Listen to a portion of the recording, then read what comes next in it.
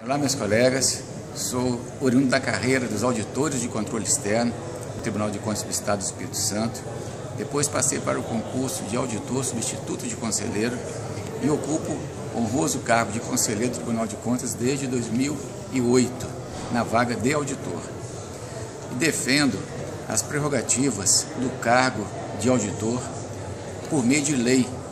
Inclusive no Espírito Santo, em nossa gestão como presidente da Corte, nós conseguimos aprovar a Lei Complementar 622, que garante as prerrogativas para a, o exercício das funções exclusivas de carreira de Estado, que é as funções do, do auditor de controle externo.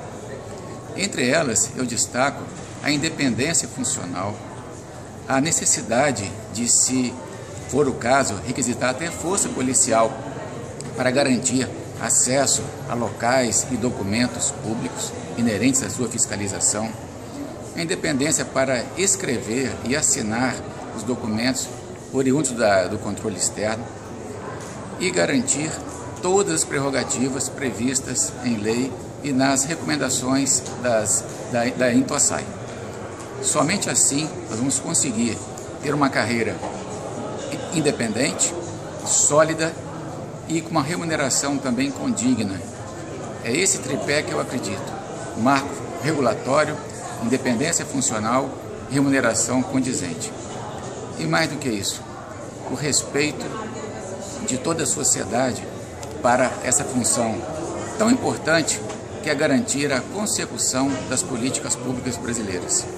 O auditor de controle externo, ele tem esse papel fundamental, garantir que a escola, que a educação seja de melhor qualidade, que a saúde seja prestada por profissionais capacitados, que as estradas tenham um nível de qualidade desejado, que os preços públicos sejam justos, nem abaixo nem acima do valor de mercado.